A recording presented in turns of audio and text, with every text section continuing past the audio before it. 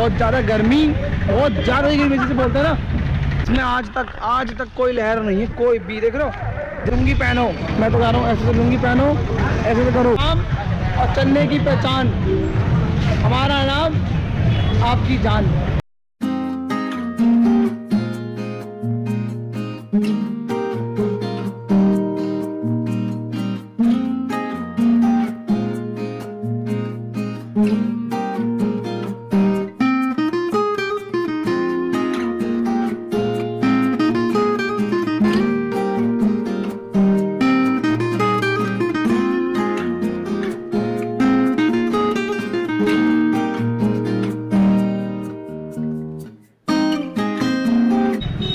हाल है दोस्तों? कैसे हो? दिन है आज चौथा तमिलनाडु में। और आज मैं रामेश्वरम में घूम रहा हूँ और इधर पड़ रही है बहुत ज़्यादा गर्मी। बहुत ज़्यादा गर्मी जिसे बोलते हैं ना, चौंतीस डिग्री टेम्परेचर जिसे बोलते हैं ना, वो हो रहा और दिल्ली में हो रहा बारह डिग्री तो भाई, आज है दिन बढ़िया, पर गर्मी है? बड़ी बात। आज मैं आपको नॉलेज दूँगा रामेश्वरम की। रामेश्वरम कुछ लोग आते हैं कमेंट करते हैं कि भाई रामेश्वरम मंदिर कहाँ है? क्या हो रहा है, कैसे जाना है, क्या नहीं जाना तो भाई, वो चीज़ की मैं आज पूरी इन्फॉर्मेशन दूँगा, रामेश्वरम मंदिर कहाँ पड़ता है। कैसे जाना और कैसे नहीं आना ठीक है? घबराने की ज़रूरत नहीं है तो वीडियो को शुरू करते हैं। तो उससे पहले, सबसे पहले आप वीडियो को लाइक करो चैनल को सब्सक्राइब करो और वीडियो को शेयर ज़रूर करना। जो रामेश्वरम नहीं आना, आ सकते, उनको वीडियो दिखाओ और कितना खर्चा है, सिर्फ़ तीन हज़ार रुपये खर्चा है रामेश्वरम का। तीन हज़ार खर्चा ना? तीन हज़ार रुपये खर्चा, बहुत खा भी करके। और लुंगी वुंगी लेके ले करके तो पड़ेगा कम से कम तीन हज़ार रुपये मान लो पूरा। ज़्यादा खर्चा नहीं है। भाई, चलो शुरू कर दें वीडियो को लाइक करो सब्सक्राइब करो चैनल को। और जो लोग हमसे बात करने जाते हैं, वो इंस्टाग्राम पे फॉलो कर लेना राहुल बाबा की मस्ती को। तो मैं आपको दर्शन कराता हूँ रामेश्वरम के और पूरी इन्फॉर्मेशन देता हूँ कहाँ मंदिर है, क्या है, क्या नहीं है। चलो भाई, आ गए रामेश्वरम। जो यहाँ पे सीता मैया ने पूरा समुंदर शांत कर दिया था। इतना शांत कर दिया था कि आप यकीन नहीं मानोगे, इसमें आज तक कोई लहर नहीं है।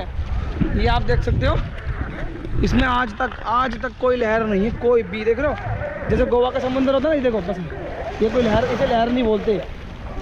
देखो हल्का सा है देख रहे हो, पूरा समुंदर बिल्कुल ठहर गया है। पूरा समुंदर देख रहे हो आप, पूरा जो आप मेरे पीछे पीछे देख सकते हो ये समुंदर की पूरी सच्ची कहानी है, जो सीता माता ने मतलब शांत कर दिया था, वो शिवलिंग बना रही थी इसलिए, और ये बार बार आ रहा था, और शिवलिंग की मिट्टी अपनी ओर ले जा रहा था। तो आप देख सकते हो, ये भीड़ बिल्कुल नहीं है यहाँ पे। देख रहे हो आप कितने लोग नहा रहे हैं।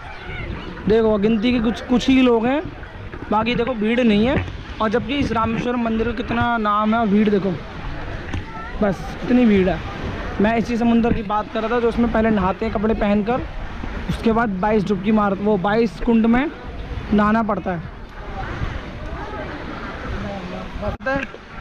और जो वो आपको बोट दिख रही होंगी, वो वाली सारी बोट वहाँ पे दिख रही होंगी, वो अपने इंडिया की बोट है। उसमें पुलिस वगैरह बैठ के श्रीलंका बॉर्डर पास में ही है। उसकी वीडियो भी आप देख सकते हो, मेरे यूट्यूब चैनल पे डिस्क्रिप्शन में आपको लिंक मिल जाएगा। ये वहाँ पे सब पहरा देते हैं कि ताकि कोई श्रीलंका से आ ना जाए। पानी के ज़रिए। तो ये वहाँ पे उसको पहरा देते हैं, जो आप देख रहे हो। तो भाई, गर्मी बहुत लगी वैसे। तो भाई, ये मैं आ गया। ये है रामेश्वरम का टेंपल, जहाँ पे पूरे इंडिया के लोग घूमने की चाहत रखते हैं और आना चाहते हैं। तो ये है रामेश्वरम का मंदिर, जो आप देख सकते हो। आपके सामने दिख रहा होगा, ये रामेश्वरम का मंदिर है। और ये देख रहे हो, यहाँ से आप यूँ इस मंदिर के राइट मंदिर मंदिर के राइट तरफ़ जाओगे इस तरफ़ से तो आपको आगे जाके कुंड का रास्ता मिलेगा। इस तरफ़ से जाओगे तो दूसरा रास्ता मिलेगा, आगे आगे ये देख रहे मंदिर है, ये गली है यहाँ की। ये देख रहे हो आप लुंगी वाले लोग ज़्यादा मिलेंगे आपको। ये आप देख सकते हो। लुंगी वाले आपको